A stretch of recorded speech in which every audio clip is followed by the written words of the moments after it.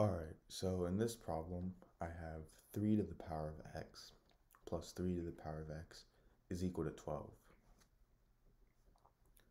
So, obviously, I want to find the value of x here. So for my solution,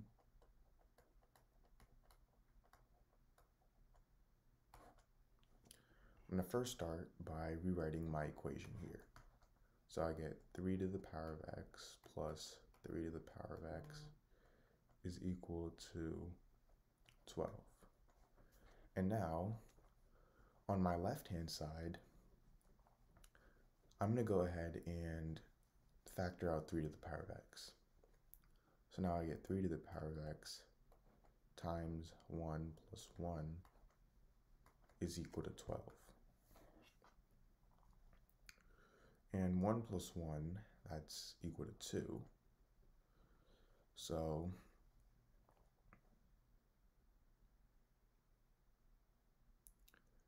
I get 3 to the power of x times 2 is equal to 12.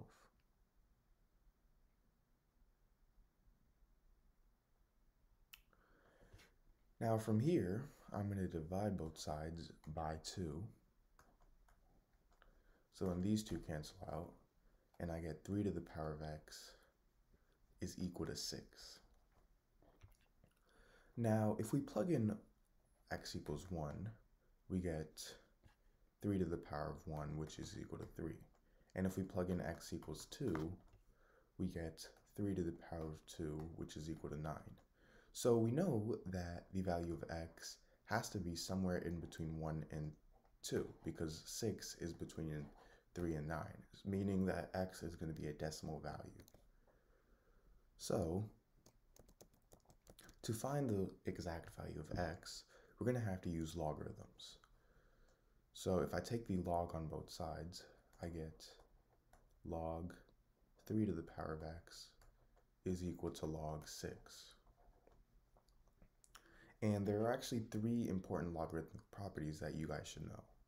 So the first one is that if I have something in the form log a to the power of b, I can move this exponent b to the front. So this is going to equal b times log a. The second one that you guys should know is that if I have something in the form log of a times b, this is going to equal log a plus log b.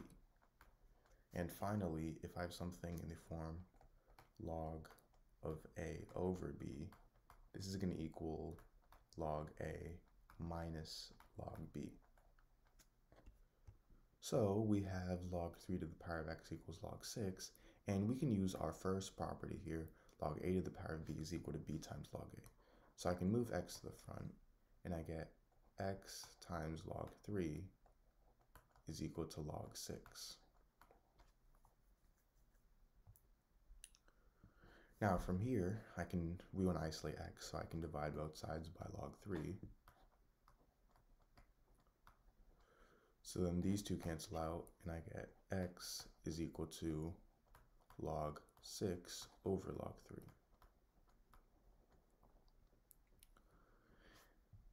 Now,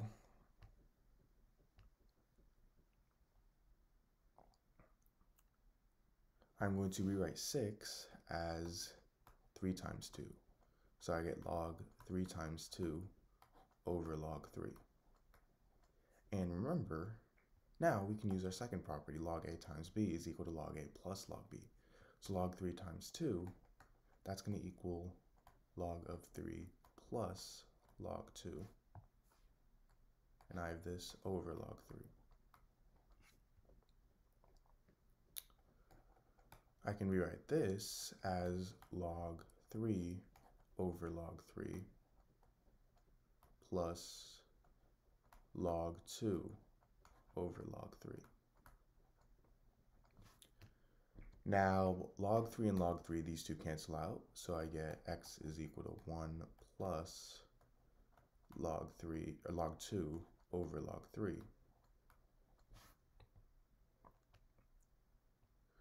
And log 2 that's equal to 0.301. And now I have this over 0.4771. So this is going to equal 1 plus 0.6309. And 1 plus 0.6309 is 1.6309. So this is my answer. Now I actually have a second method of solving this problem.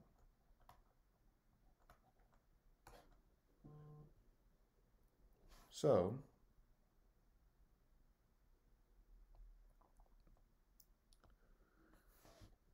my equation was 3 to the power of x plus 3 to the power of x is equal to 12.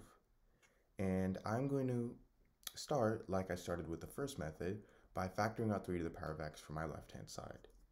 So I get 3 to the power of x times 1 plus 1 is equal to 12. Now, again, I'm going to solve what's in my parentheses. 1 plus 1 is 2. So I get 3 to the power of x times 2 is equal to 12. And again, I'm going to divide both sides by 2. So I get 3 to the power of x is equal to 6.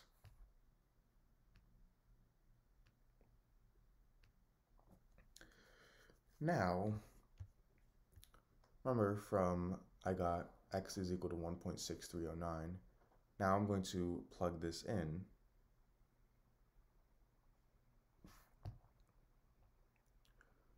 to my 4x. So I get 3 to the power of 1.6309